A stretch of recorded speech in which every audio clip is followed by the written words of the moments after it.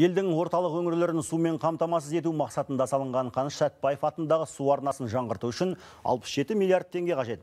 25 жылға арналған сорғылар мен агрегаттар 60 жылдан бері ауыстырылмай үздіксіз жұмыс істеп тұр. 450 шақырымды алып жатқан алып арнаны жаңғыртпаса бірнеше облыс таза сусыз қалуы мүмкін дейді мамандар. Болат Аманбаевтың сюжеті.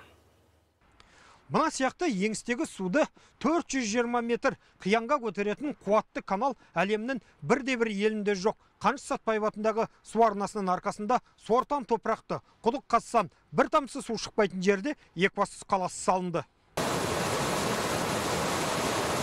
Қарт ертістен бастау алатын канал суы кеншілер қаласы ғана емес Қарағанды мен Елордаға да барады. Жолшыбай Жермек су сорғы станциясы 71 агрегат бар. Бұл күнде жабдықтардың 90 пайызы тозған.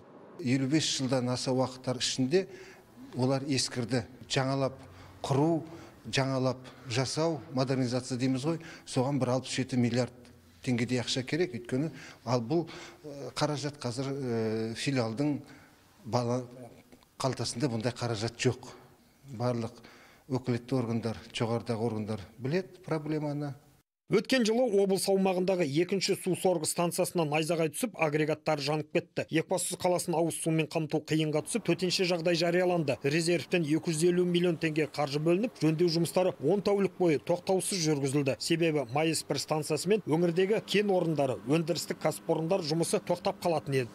В год 2 миллиарда. Жылына 2 миллиард теңге модернизациялау жұмыстарына бөлініп отырса қауіптен құтылар едік. Бұл канал тек қана ауызсумен қамту емес, егіншілік малдың жем азығын дайындау бағытында да аса маңызды нысан екенін айтқым келеді. 1600 адам осы каналда жұмыс істеп, отбасын асырап отыр. Каналды 2030 жылға дейін модернизациялаудың кешенді жоспары дайын тұр, бірақ қаржы мәселесі кейінге шегеріле береді. Мемлекет тарапынан жұмыс жасап жатырмыз. Оны енді тариф есебінен жаңарту қатты мүмкін емес.